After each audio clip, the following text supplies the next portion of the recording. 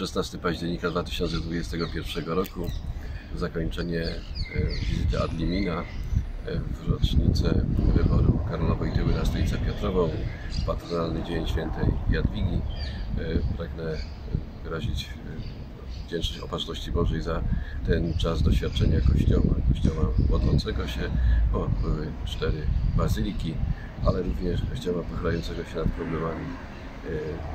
naszych wspólnot diecezjalnych, parafialnych i za dobre rady, za to wsparcie, które otrzymaliśmy od e, właśnie kongregacji, ale przede wszystkim od papieża Franciszka i jego bardzo serdeczne przyjęcie nas e, na audiencji i również to wskazanie wielkiej potrzeby bliskości, zarówno wielkiej wspólnoty, e, którą jest wspólnota pasterzy z ludem Bożym, jak też i braterskiej wspólnoty